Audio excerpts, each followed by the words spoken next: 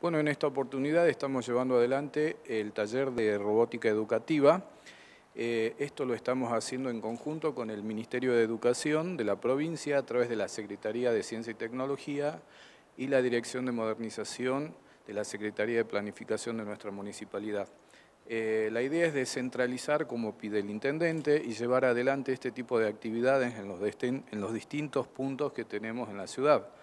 Así que tenemos programado el primer taller para este jueves 28 de febrero en el punto digital del Faro del Saber. El segundo es el 8 de marzo, que se va a hacer en el Nido Cuyaya. El tercer encuentro va a ser el 28 de abril en el Nido Campo Verde. Y el cuarto encuentro va a ser el 29 de abril en el punto digital de Jorge Cafrune. Esto está destinado a niños y jóvenes jóvenes y chicos, digamos, de entre 12 y 18 años.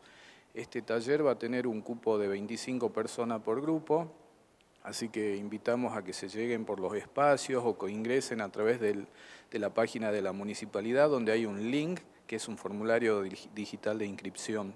Este, así que bueno, invitamos a todos los interesados para hacer la reserva del lugar o a personarse por cualquiera de estos espacios que los vamos a ayudar. Eh, esta es una herramienta, una herramienta educativa de aprendizaje, ¿no es cierto?, que se apoya en las tecnologías digitales y que va a permitir a los chicos crear este, objetos con control y movimiento, digamos, eh, que pueden llevar este, adelante distintas actividades simuladas, digamos. Esto con el control de una computadora.